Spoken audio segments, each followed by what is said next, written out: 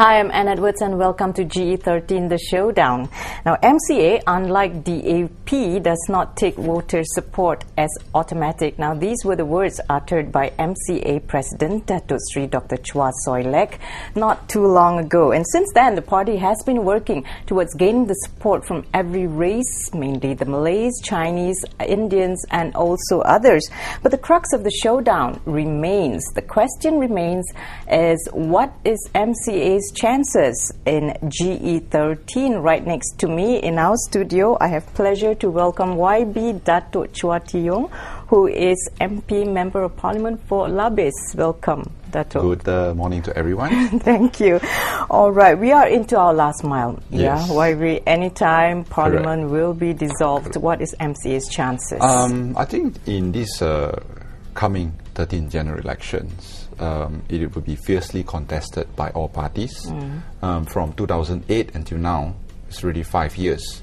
So, in terms of the voters' sentiment, the voters' decision, they say one night in politics is a long time. Right. So, after five years, we believe with what MCA has done, mm-hmm. together with what Barisan Nasional has proven in this five years track record, together with the uh, leadership of the Prime Minister mm-hmm. and our President of MCA, I believe that the chances of MCA will be much better mm-hmm. in this coming election. Mm-hmm. Despite all that's been said, and also there are criticisms, of course, the ongoing one yes. that MCA may lose quite, uh, you know, slightly yes. right here in the polls. Um, so. In fact, the there will always be what you call assumptions. There will always be surveys there will always be a lot of what you call estimates that how many seats we can get. Mm. But one must understand that unless the ballot box is open, the votes are counted, the fight is not over. That's number one.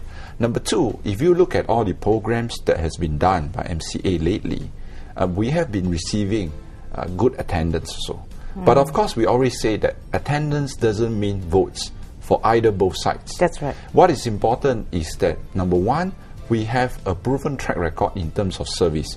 And most of our candidates, or in fact, most of our member of parliament, are not what you call touch and go uh, politicians. Most of them, when they get elected, even though they do work in parliament, they also perform in terms of ensuring infrastructure, providing service to the people, and this is part and parcel for a developing country. Yeah. So if you look at MCA in terms of the chances, as a good example is the indication of the number of members coming in and joining to MCA. Mm-hmm. A lot of people saying that after 2008, a lot of party members will leave in droves. Can you there give us some numbers? Of, of, course, there will be a lot of people jumping ship, they say. Right. But if you look properly, mm-hmm. the number of member of parliaments, the number of state assemblymen that has been jumping, it's not from MCA. Mm-hmm. It's all from Pakatan Rakyat. Mm-hmm.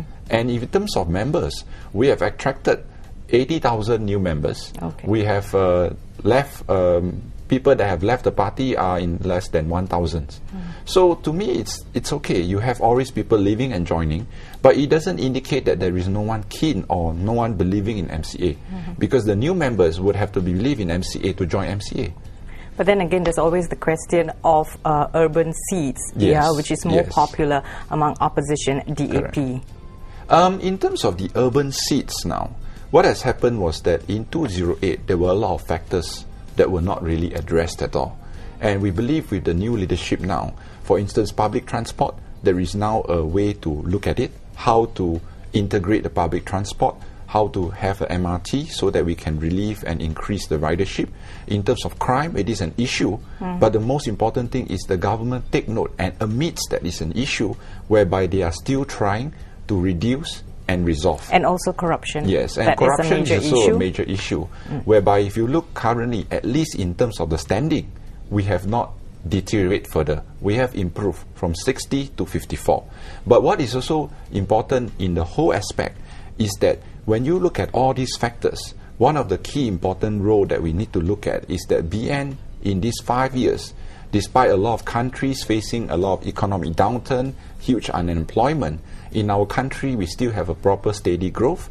We have a vision how to build up the country, how to implement policies to create jobs, to attract investment. And when a lot of countries are reducing subsidies, we are adding subsidies. But what we are doing is adding subsidies according to what the government can afford. Okay, we'll come back for more from YB Datuk Chua right here in our studio on GE13, the showdown, and also for some dirt that's happening out there. Stay with us.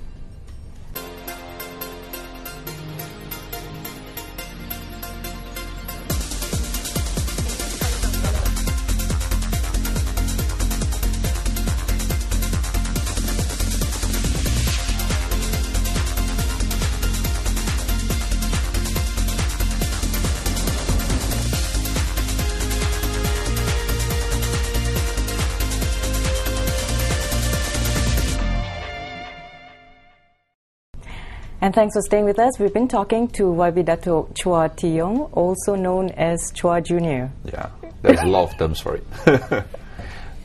okay, um, you gave a lot of very good feedback. In fact, yeah, yeah put things in the light right here uh, in our studio, and also in terms of uh, some of the issues, yes. yeah, that's being faced by yeah. political parties Correct. in this country.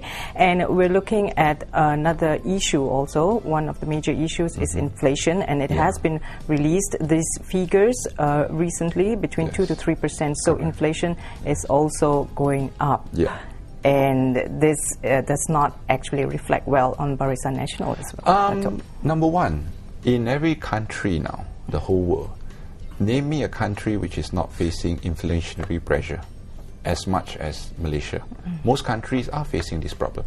In fact, if you compare to the region, we are much better off because of the subsidies that are being implemented. Mm. But what is more important is that when you talk about inflation, one of the key component is affordable housing which is one of the key aspect now that is being what you say the public's expectation mm-hmm. is the government building affordable homes. But if you look at the policies of the Pakatan Rakyat, they will ensure that things continue to be more expensive. Houses continue to be more expensive. Why? Because, for example, in Selangor, they have what you call a land conversion surcharge, which is implemented when Pakatan Rakyat came in. And this has resulted in a huge housing price increase. Because when there's a cost developer increase, they will pass it to the consumer. Right. And under the Pakatan Rakyat, in Selangor, what happens is the whole sand business is monopolized by the company. So in Selangor, one lorry of sand is 1000 to 1005. Right. In Johor is 300 to 500. Okay. So that definitely adds a huge cost. Okay. And Penang doesn't have any affordable home, as, as Auditor General has mentioned. Selangor is uh, one of your favorite topics. Um, it's not favorite topics. It's one of the states that they have governed. Okay. And uh, Kedah and Kelantan is much worse off. Okay. Kedah has a debt of 3 billion now. So I don't think we have to talk much about Kedah and Kelantan. Okay, and also since you mentioned Johor, yeah. of course um, there's, there's, dirt also happening there. DAP seems to be making an onslaught yeah. in uh, Johor with Lim Kit Siang making an appearance over yes. there. Yeah. Okay. How do you look at this? Um, there is a few ways to look at this uh, Lim Kit Siang coming mm -hmm. to mm-hmm. Johor. Uh, before Lim Kit Siang announced uh, that he will be standing in Johor, we have the episode where Dr. Boo is openly mm. having a feud with uh, the PKR chief, Chua Jui Meng. And it's an open secret that both wants to stand in Gelang Patah. Mm. So by Lim Kit Siang coming to Gelang Patah, it may be to, number one, placate the animosity between both parties. So when he stands, of course the PKR members will not say, why are you standing here? Because he is the supreme leader for DAP. Mm. And the other factor, if you look, is two, they have no confidence in the DAP leaders of Johor to ensure that they will gain better seats. Number three, it doesn't mean that if Lim Kit Siang comes in, it's a sure win. Because his track record doesn't indicate that he's 100% always every battle he wins. There are also speculations that Hew, also known as Superman, yeah. is contesting against you the comedian Superman, I would say, which for somehow reason ties with the movie Superman mm-hmm. because the Superman in the movie is afraid of kryptonite. Hew is afraid of PAS, which is green color. Okay. I welcome Hew to stand if he wants to stand, but based on what I've understood, he has actually clarified that he is not standing. So who stands? I mean, anyone can stand as long as you're a Malaysian citizen. So in MCA, in BN Johor, we welcome any political party, any DAP members to come in and contest in Johor. I mean, we will never prevent them. Do I take it that you will still be at Labis? I hope so. there is uh, no indication at this moment Oh, uh, where we would be standing. But of course, um, I have to thank the voters for giving me these five years, for giving me a chance to be a member of parliament there. And I do hope that I get to continue this journey together with them again. There is a perception, and this is of course very known, is that a majority or majority of Chinese in this country lend their support to Pakatan Rakyat. What is your view on this? Um, I think there is a perception created by Pakatan Rakyat also that saying that, okay, Chinese voters, no problem, they will always vote us. It's been taken like an automatic. And that's the reason why when DAP did a scenario simulation analysis of how many seats they can win, they have already put in that Chinese support is 65%. The only thing that they have varied is probably Malay and Indian support, they have fixed it at 50. And this is done by Liew Chin Tong. So this shows that they have a slight arrogance in saying that the Chinese have no more choice, they only have DAP. It doesn't work that way. To me, five years is a long period. In 2008, there were a lot of factors that contributed to what the results was. And in this current general election, I'm quite positive still. We'll take a short break, Yeah. very short break. We'll come back for more. It's getting hot right here on set with uh, YB Datuk Chua Tee Yong. Stay with us.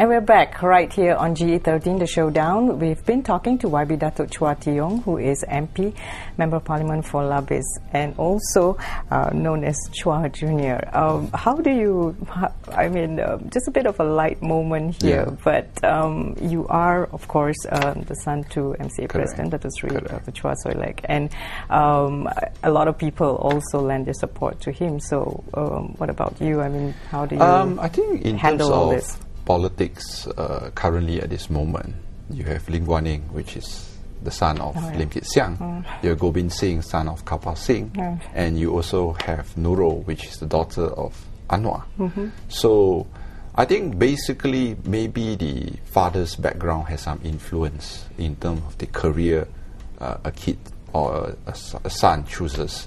And this is well documented in a lot of research. So, for instance, like my brother is a specialist, partly because when he was uh, growing up years, he was with my dad, dad when he was practicing as a general practitioner. So I think the influence is there. So politics is in Yeah, it, it has some it has some influence, of course, on our career choice and what we think, things like that. Great. Now, moving on to some more dirt. Yeah. MCA has been playing up the past hudud issue.